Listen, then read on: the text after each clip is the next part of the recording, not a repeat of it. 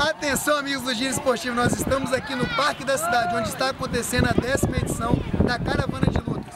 Oito modalidades sendo disponibilizadas para a sociedade de forma gratuita aqui dentro do Parque da Cidade, na Serra. E nós vamos mostrar tudo para vocês agora na tela do Giro Esportivo. Vem comigo!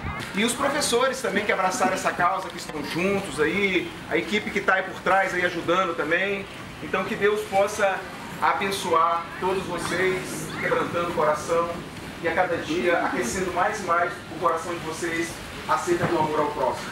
E eu tenho certeza que isso nós nunca perdemos, nós vamos sempre ganhar. Essa foi a ideia da décima edição, sendo mês de outubro, para prestigiar aí as mulheres, nesse mês aí tão importante para as mulheres aí do Outubro Rosa.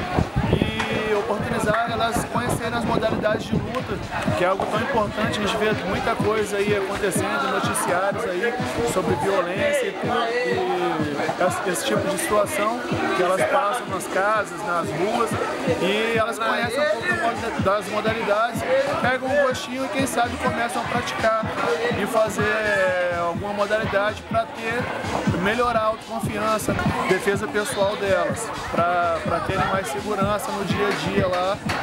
É, estamos negociando ver se vai ter, vão ter mais etapas ainda esse ano e ainda não tem data nem local definido. E a gente continuar aí esse evento tão bacana que tem atendido aí, agradecer para a prefeitura que disponibilizou o parque aqui pra gente, um local de prática de esporte, um local lindo aqui, quem venceu isso aqui hoje, tenho certeza que vai levar para a história, vai ficar na memória aí.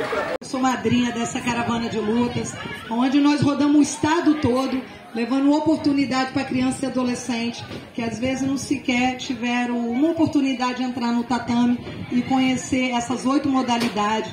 Quero parabenizar a equipe toda.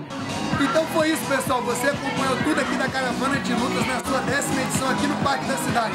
Sábado que vem nós estaremos de volta com muito mais esporte para vocês aqui no Giro Esportivo. Hoje.